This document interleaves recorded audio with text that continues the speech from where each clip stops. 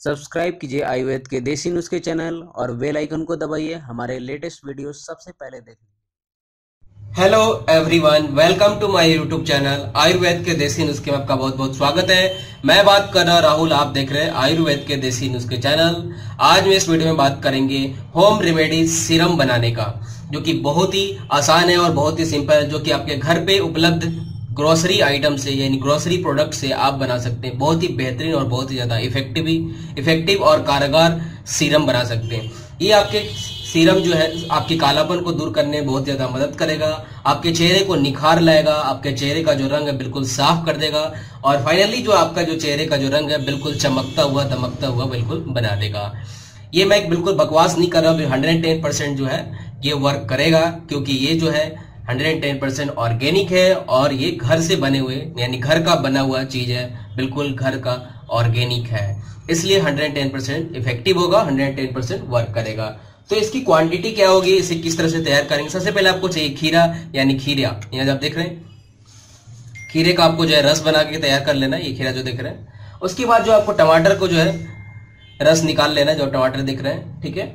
और ये दोनों का मैंने रस निकाल लिया, उसके बाद आपको चाहिए लेमन, मैंने लेमन यहाँ पे ले रखा है, और दोनों की क्वांटिटी सेम सेम ले लेना है आपको, ठीक है? तो सबसे पहले हम यहाँ पे ले लेंगे एक चम्मच जो है, और एक चम्मच, और यानी दो चम्मच हमने ले लिया खीरे का जो है जूस, और यहाँ पे ले लेंगे दो चम्मच टोमेटो का जूस, ठीक है? अब इसके बाद जो है, अब इसमें जो है हम मिलाएँगे लेमन का जूस, ठीक है? अब तो यहाँ पे लेमन का जूस हमें निकालना है तो यहाँ पे निकालेंगे लगभग वन टी स्पून जो यहाँ पे हम निकालना है लगभग। ठीक है?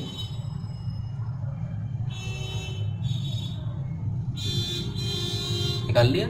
अब इसके बाद फिर हमें एक चम्मच और यहाँ पे ऐड करना है। क्योंकि क्वांटिटी जो होगा, लेमन का और खीरे का और टोमेटो का जूस जूस है। तीनों की क्वांटिटी बिल्कुल सेम रखना है और इसे हम किस तरह से अप्लाई करना है आपको मैं अप्लाई करके बताता हूँ, बिल्कुल। ठीक है? अभी बिल्कुल तैयार हो चुका आप चाहे तो इस बीज को निकाल सकते हैं और चाहे तो नहीं भी निकाल सकते हैं। इससे कोई मैटर नहीं रखता। अब ले लेना आपको रुई, यानी कॉटन एक कॉटन ले लीजिए।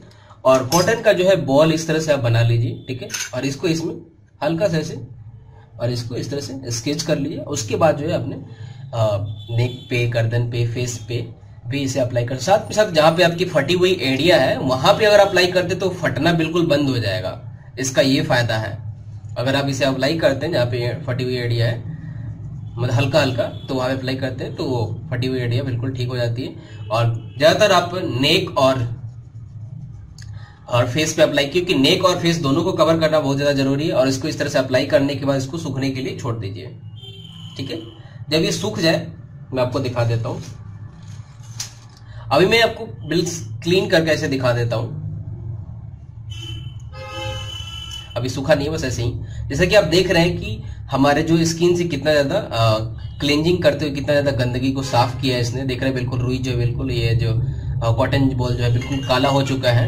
देख रहे हैं ना? तो इस तरह से बिल्कुल काला हो जाता है। ये फ़ायदा है। तो स्किन के जो कालापन को बिल्कुल आसानी से दूर कर देता है। और बिल्कुल क्लीन बना देता है आपकी स्किन को। ये बहुत ही ज़्यादा फ़ायदेमंद होता है आपकी स्किन के लिए और बहुत ही ज़्यादा इफ़ेक्टिव होता है। अगर उम्मीद है, हमारा ये रेसिपी आपको जो टोमेटो और खीरे और लेमन के जूस की जो रेसिपी आपको अगर पसंद आया, अगर अच्छा लगा तो वीडियो कर दीजिए लाइक और शेयर और सोशल मीडिया पर कर दीजिए शेयर ताकि दूसरों की मदद हो सके। वीडियो को प्लेलिस्ट में ऐड कर दीजिए ताकि दूसरों का मदद हो सके। अगर ऐसे रेमेडीज ऐसी वीडियोज़ से अपडेट रहना चाहते क्योंकि मैं अपने चैनल पर ऐसे ही वीडियोज़ ऐसे ही रेमेडीज लेकर आते रहता हूँ तो प्लीज़ हमारे चैनल को कर दीजिए सब्सक्राइब और बेलाइकन को क्लिक कर दीजिए प्रेस ताकि जब भी मैं वीडियो कोई भी नया वीडियो में अपडेट करता हूँ, उसका नोटिफिकेशन आपको सीधे मिल जाएगा और कोई वीडियो आप मिस नहीं कर पाएँगे। तो उम्मीद है दोस्तों आप सभी अच्छे होंगे और इसका फीडबैक ज़रूर दीजिएगा, हमें कमेंट बॉक्स में कमेंट करके। तब तक लिवाए टेक केयर और अपना ख्याल रखिए दोस्तों।